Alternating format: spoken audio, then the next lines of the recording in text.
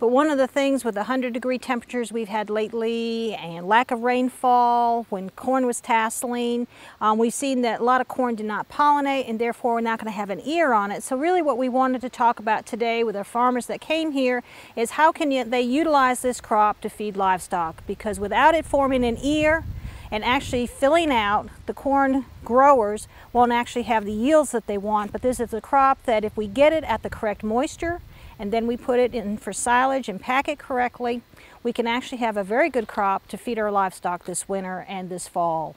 One of the things that's very important is we are picking up nitrates in this crop, so it's very important to test it and make sure that it is safe.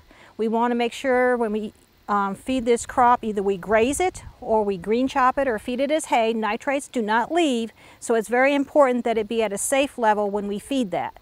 When we ensile a crop and it goes through a proper fermentation, for example, if we put silage in a silo and it ferments for three to four weeks, usually we see 40 to 50% reduction in the amount of nitrates that are there. So that is one way to reduce nitrates.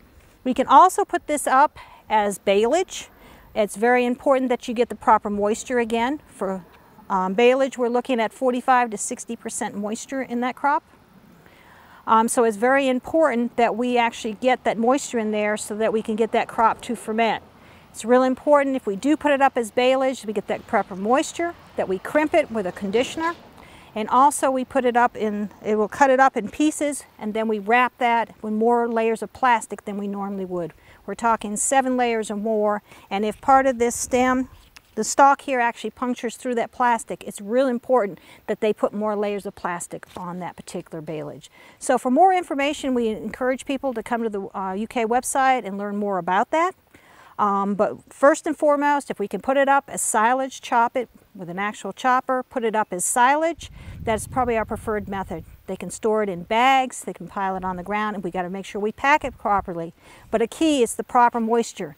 And this crop dries down very quickly. You can see it's already starting to fire up on this one. There's some other plants over here to my um, in front of me here that have already started to fire up. This crop is going to dry down very quickly.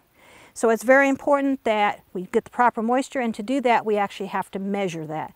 So using a microwave to actually measure the moisture content or dry matter content of it or a Koster tester or some method to actually see actually how much is really here because it is very critical when we to make good silage to get proper moisture and we get it packed correctly. And one of the things that you can tell we're going to sacrifice is probably the one few ear we see here um, but basically what I was taught by an agronomist, our corn specialist, was to actually take a little pocket knife and basically just score the ear.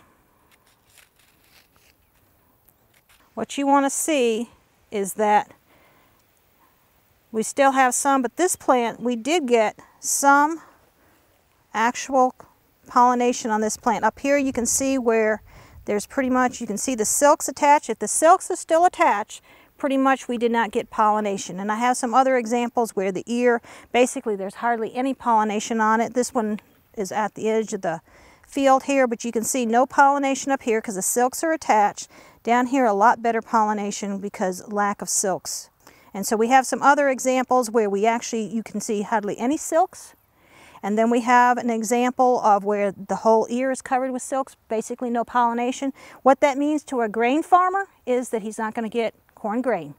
And so that is why this crop is very valuable for livestock because they're short forage to start with and um, the corn that maybe they have does not have the yield because 50% of the yield is in the ear.